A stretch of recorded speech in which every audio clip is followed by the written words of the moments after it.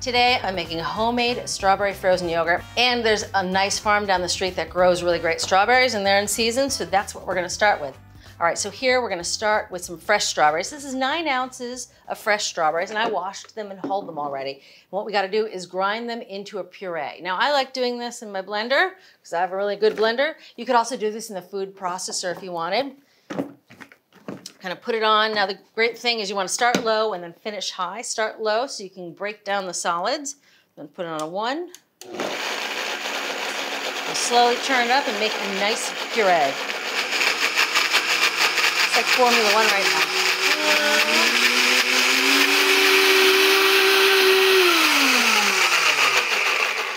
All right, so that you can see is nicely pureed, almost like a sauce.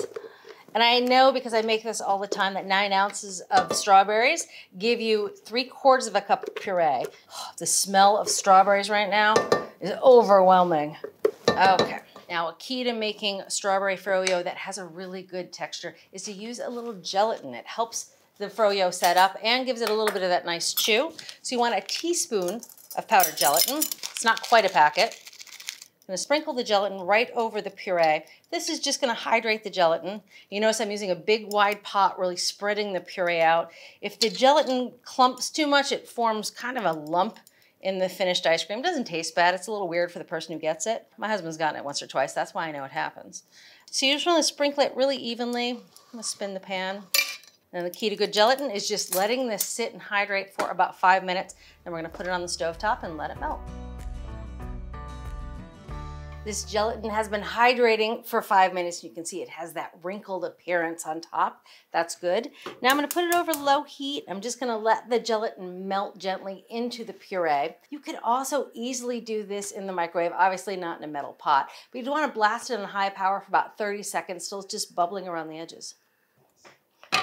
All right, so that gelatin has melted, didn't take long. Now I'm gonna turn the heat off, pull the pot off the hot burner, and let this cool for five minutes while we get the yogurt ready. All right, time to focus on the yogurt. Now here I have a quart of whole milk yogurt that's plain, it's not sweetened, and I've let it drain overnight. Now this is how you drain yogurt, it's very easy. Take a nice deep bowl, put a strainer over it and line it with a triple layer of cheesecloth. Then you add the quart of the yogurt, you cover it with plastic wrap, and you refrigerate it until all the whey drains out. Now the amount of whey that drains out of this yogurt is important for the recipe. You just wanna get rid of one and a quarter cups of whey. So I'm gonna set this aside. I know it's shocking how much liquid comes out of that. So I'm gonna measure out one and a quarter cups. If you have any extra, you're gonna wanna stir that back into the yogurt. So I'm gonna get rid of this. And now the yogurt's gonna go back into the bowl. Okay, just a few ingredients go into the yogurt. We're gonna start with some Lyle syrup. Now this is a British ingredient. It is cane syrup, but it has a deep sort of maple syrup-like flavor that is really good in this yogurt. If you can't find it, you can easily substitute corn syrup. But because it's an invert sugar, that really is important for the texture of the froyo. So don't leave it out. You only need three tablespoons. It's also the kind of ingredient that once you get in it in your house, you're gonna find yourself adding it to all sorts of things because it's just a really lovely but unique flavor. Next, we're gonna add some sugar. Three quarters of a cup of granulated sugar. Last but not least, a little bit of salt, eighth of a teaspoon thereabouts. I'm using kind of a small bowl here. I'm doing that on purpose. Big fan of using big bowls for whisking and mixing. It makes less of a mess. But this bowl has a lid, and we're gonna let this chill. So that's why I'm using the smaller bowl. All right, time to add the cooled strawberry puree. We're gonna add this right to the yogurt mixture. Now we're just gonna whisk this together, and this is the frozen yogurt base. From here, it goes right into the ice cream maker. But one trick is you want to chill this mixture down before putting it in the maker. That'll just give you better ice cream. The longer it takes to churn ice cream, the worse it is, the more ice crystals. So you can either put this in an ice bath and chill it down really quickly, or you can put it in the fridge overnight, which is generally what I do. I know, it's a comically small bowl for this. Like I said, I chose this bowl on purpose. This is my ice cream making bowl because it fits everything and it has a lid. So when I put it in the fridge, it works really well. So into the fridge this goes, and then we'll come back and churn the ice cream later. time to make the frozen yogurt so this mixture is nice and cool. And again, I like to put it in the fridge. I just think it's easier, but if you're in tight on time, you could put this mixture over a bowl of ice into an ice water bath and chill it down quickly. You want this mixture to be at least 40 degrees before you put it in the mixer. Into the canister it goes. All right, canister into the ice cream maker. Turn it on, press the start button. Now this is a really nice ice cream maker. I treated myself after having a number of less expensive ones where you freeze the canisters, which work really well. But how long it goes and how long it takes really depends on your ice cream maker, so follow manufacturer's instructions. Now I'm gonna show you how easy it is to make a homemade chocolate shell topping for ice cream.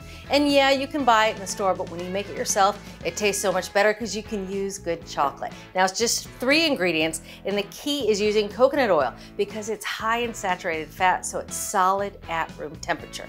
All right, so the ratio of coconut oil to chocolate is two to three, and that translates to a quarter cup of coconut oil and three ounces of chocolate.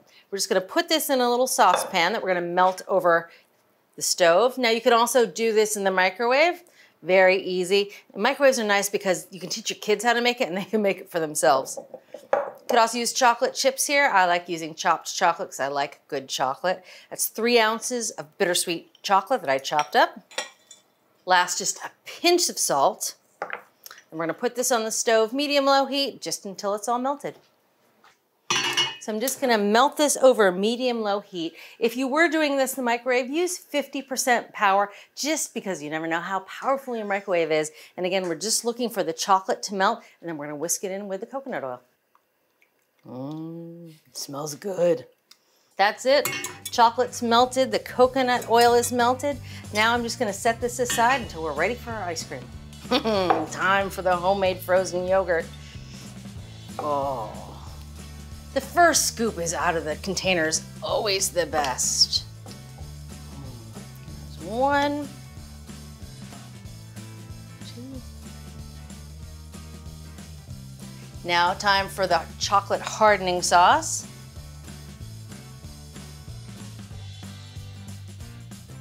I love that magic shell. It hardens so fast. I know this is gilding the lily, but a few fresh strawberries that melt in with the chocolate and the ice cream. Oh, now for the taste. Mmm. Mmm. The yogurt is the perfect balance of strawberries. You can taste the yogurt, the tang, a little bit of sweet, and that chocolate shell with the fresh strawberries just takes it over the edge. Thanks for watching. What'd you think? Leave a comment below and let me know what you're excited to cook this week. And while you're at it, hit that subscribe button. You can get today's recipes and more for free at our website, americastestkitchen.com slash julia at home.